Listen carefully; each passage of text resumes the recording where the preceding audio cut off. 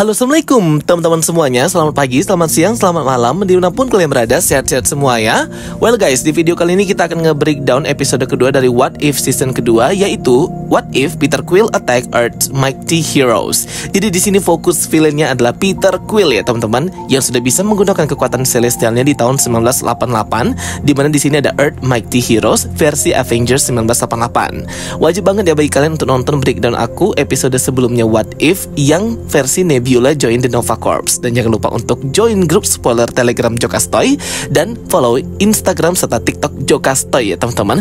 Oke, kita langsung aja nge-breakdown ya untuk episode kedua What If Peter Quill Attack Earth's Mighty Heroes. Here we go. What if episode kedua ini dibuka ya dengan sebuah benda aneh? Kapalnya Ego itu datang ke planet bumi ya teman-teman. Hendak membuat kehancuran. Karena di semesta ini ceritanya Peter Quill itu tidak pernah dirawat oleh si Yondu ya teman-teman. Ia diantarkan langsung ke Ego dan mengaktifkan kekuatan celestial Egonya si Peter Quill kecil itu dan menyerang planet bumi tepatnya di kota New York pada tahun 1988 ini kapal yang sama ya yang kita lihat di Guardians of the the Galaxy yang kedua, kapalnya Ego. Ego mengajak Peter Quill kecil untuk mengekspansi dan menjarah ya, menghancurkan setiap planet agar kekuatan Ego sebagai celestial itu terus bertambah, termasuk setiap planet di alam semesta. Terlihat di sini Agent Carter dan Howard Stark itu sedang mengawasi Peter Quill yang menyerang kota di Project Pegasus bagian barat divisi Shield ya.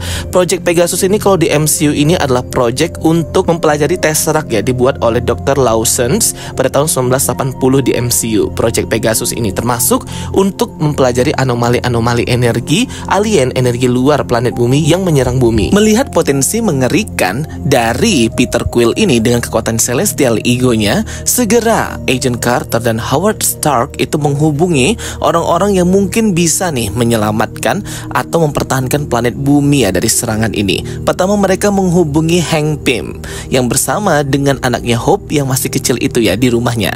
Karena ini set waktunya 1988, jadi berarti di sini Janet Van Dyne itu sudah terkurung dan mengorbankan dirinya masuk ke Quantum Realm ya. Setelah di MCU dia tahun 1987 itu mengorbankan dirinya untuk menghentikan misil atau peledak yang diluncurkan oleh Uni Soviet ya teman-teman. Sehingga di sini Hank Pym sudah kehilangan Janet Van Dyne. Satu tahun setelah kehilangan, ia harus kembali mempertahankan planet bumi dari Peter Di tempat perkumpulan para hero, Hank mengajak Hope juga ya dan bertemu dengan Bill Foster lengkap dengan kostumnya sebagai Goliath atau ia bisa berubah menjadi sangat besar banget ya. Itu kemampuannya. Agent Carter juga meminta bantuan dari Raja T'Chaka, kerajaan Wakanda di Afrika. T'Chaka ini adalah ayahnya T'Challa ya guys. Howard Stark itu menyambut King T'Chaka.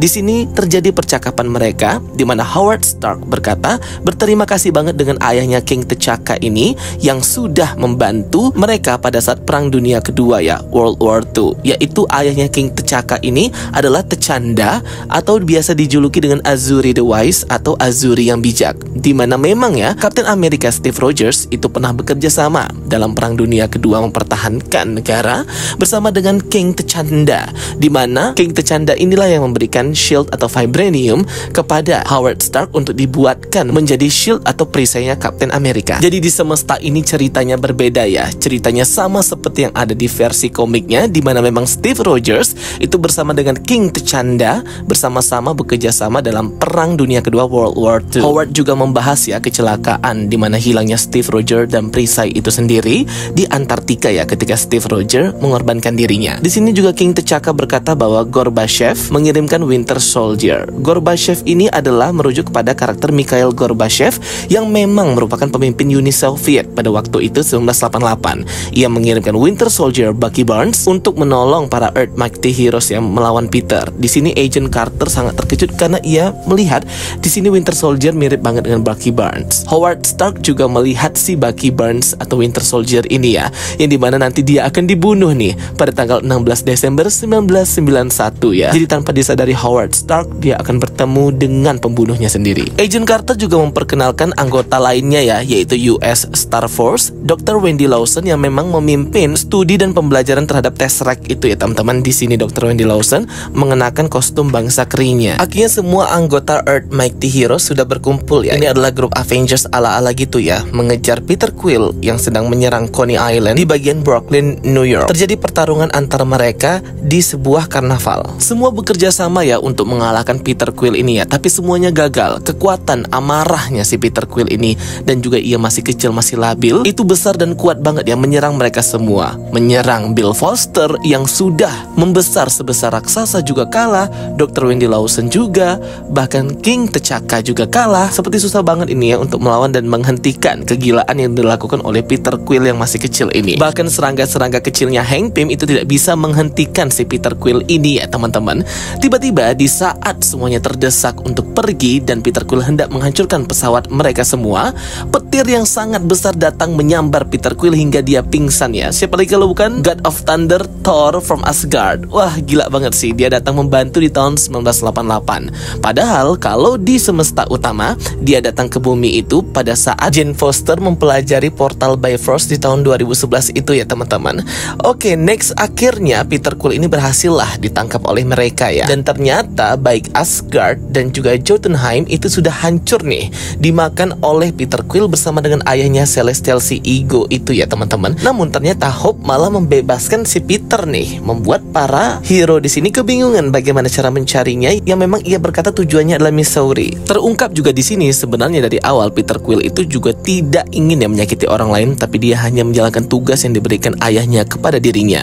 Ketika ia dipanggil oleh Ego dan tidak menyaut, Ego pun akhirnya turun tangan sendiri ke planet bumi yang mengaktifkan benih yang tadinya disimpan nih oleh para hero kita. Akhirnya Ego di sini datang langsung ke planet bumi dan menyerang para Earth Mighty Hero. Semuanya sudah siap dengan puluhan tank bahkan ratusan tank bersama dengan King T'Chaka, Thor dan juga Goliath. Mereka berpisah ya, Dr. Wendy Lawson dan Hank Pym itu berusaha mencari Peter Quill yang memang harapan satu-satunya untuk mengalahkan Ego ya yang datang ke planet bumi. Ego di sini menyerang dengan cloningan tanahnya serta kekuatan celestialnya. Mereka pun bingung ke mana Winter Soldier atau Bucky Barnes. Ternyata Bucky Barnes ini ditugaskan oleh pemimpin Uni Soviet untuk langsung membunuh si Peter Quill yang ternyata Peter Quill ini datang ke makam atau tempat kuburan ibunya itu ya. Dr. Wendy Lawson dan Hank Pym langsung datang untuk membujuk Peter Quill agar mau membantu mereka ya teman-teman mengalahkan Celestial Ego yang sedang menghancurkan dan menyerang para Earth Mightiest Hero.